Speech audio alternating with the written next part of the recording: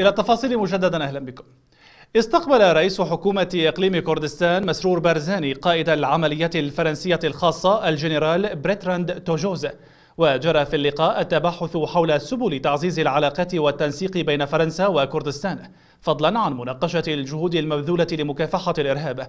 وأشار توجوز إلى الموقع المهم للإقليم كعامل للاستقرار في العراق والمنطقة مؤكدا أن زيارته تهدف لإعادة التأكيد على استمرار العمل والتنسيق الوثيق بين كردستان وفرنسا في إطار التحالف الدولي ضد داعش.